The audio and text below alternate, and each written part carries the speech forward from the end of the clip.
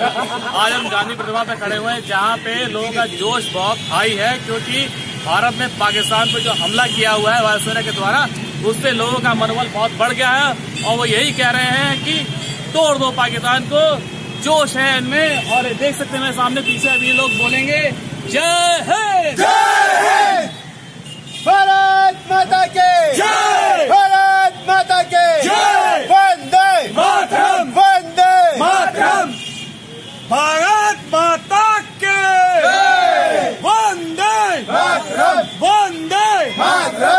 भारतीय वायुसेना ने जो कार्रवाई किया है उसके लिए मैं इतना कहना चाहता हूँ कि हमने पाकिस्तान के अंदर घुसकर दिवाली और होली दोनों ही मनाया है।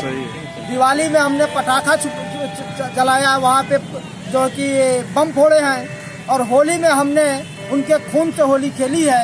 इससे बड़ी शहादत इससे बड़ी जो है कि श्रद्धांजलि।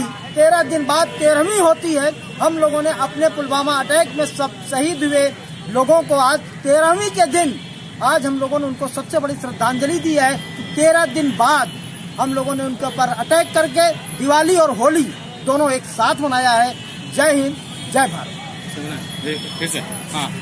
बताइए, कैसा लग रहा है आपको जो है, जो हमला हुआ है पाकिस्तान के ऊपर? सबसे पहले मैं अपने देश के सैनिकों को बहुत बहुत बधाई दूँगा, जिन्होंने पाकिस्तान के द्वारा पुलवामा में जो एक कायराना हमला किया गया था, जो कायराना किया था, उसके लिए बहुत बहुत धन्यवाद और प्रधानमंत्री जी को भी बहुत बहुत बधाई दूँगा, धन्यवाद दूँगा कि उन्होंने सेना को ऐसे काम करने के लिए अनुमति प्रदान की। जय हिंद। जैसा कि आप देख रहे हैं कि यहाँ पे लोगों का जोश बहुत ही हाई है और आज जो सवेरे तड़के पाकिस्तान के ऊपर वायुसेना ने हमला किया था। एक हज़ार किलो का बम जो गिराए गए हैं, उसके लिए देश में बहुत ही उत्साह है, बहुत ही जोश है, और जो पुलवामा में हमला हुआ था उनके द्वारा, पाकिस्तान द्वारा, उसका एक बदला